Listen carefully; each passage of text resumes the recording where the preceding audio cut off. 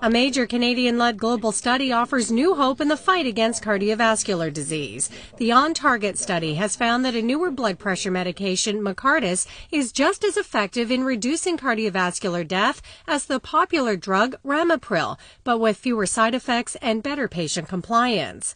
Dr. Salim Yusuf with McMaster University is principal investigator with the On Target study and says with cardiovascular disease claiming so many lives every year, new treatment options are very welcome news. In the world, there are about six and a half billion people. There are about 55 million deaths every year in the world. 40% of these deaths globally are from cardiovascular disease.